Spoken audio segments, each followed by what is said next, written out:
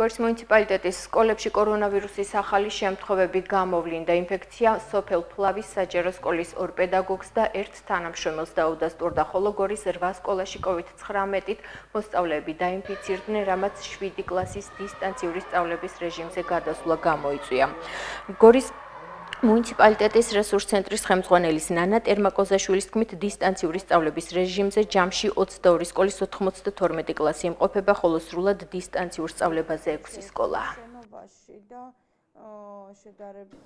არა რატო იყო ფლავია ახალი გორის მერვეა ახალი არა ფლავი სრულად დისტანციურზე გადავიდა და გორის მერვე მე-5-დან მე-12 კლასის ჩათვლით 11 კლასი გადავიდა დისტანციურ. ფლავში გეგმიური ტესტირების დროს დაუდასტურდა სამ პედაგოგს, უბრალოდ ორ პედაგოგს და საქმის წარმოებელს.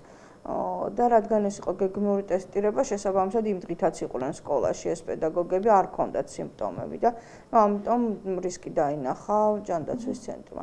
მერვე სკოლას რაც შეეხება მერვე სკოლაში ორი პედაგოგია და მოსწავლეთა დიდი რაოდენობა, როგორც დირექტორმა თქვა, ამ თემში კვერნაკზეა ეს სკოლა მოგახსენებათ და თემშია ძალიან გავრცელებული და ბევრი ოჯახია მოკლედ სადაც კოვიდი აქვს და ამიტომ საჭიროა ჩათვალეს რომ საბაზო და საშუალო საფეხური გადაგვეყვანა დისტანციურად